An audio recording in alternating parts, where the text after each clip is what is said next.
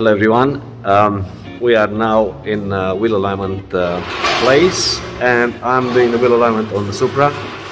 It's very irritating, representing my friend's uh, coffee shop. Um, so we change on the car um, front camber arms, uh, rear camber arms, rear traction rods and uh, rear toe rods on one, on one side. Um, so the wheel alignment is all over the place. I've been driving the car here and it literally feels like it's dan dancing on the road. Now while we're preparing the Supra, because in the on Friday there's a track day, one of the local tracks here, a brand new circuit, a time attack. Sorry. Um, and um, we're hoping to go and uh, put a few laps in. So today's wheel alignment is going to be all about um, track setup for time attack, not for drift but let's see how we go with the adjustments. I have this uh, messy wheels the back uh, 18 by 11 and they're scraping all over the place. So it'll be quite a bit of work to get them all in uh, good shape. And um, I'll yes that's the plan. Hopefully there's gonna be no rain or snow on Friday. We're keeping an eye on uh, on the prognosis and um, let's see what happens. I will walk you through the wheel alignment I'll show you what value I'm putting on the car and let's see how it handles and what lap times we can pull. I'm running at the moment 235s um, 17s in the front and two 285s 18s on the rear.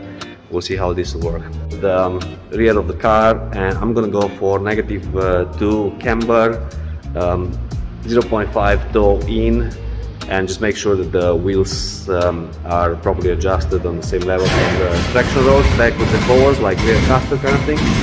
And this will be uh, for track setup and let's let's see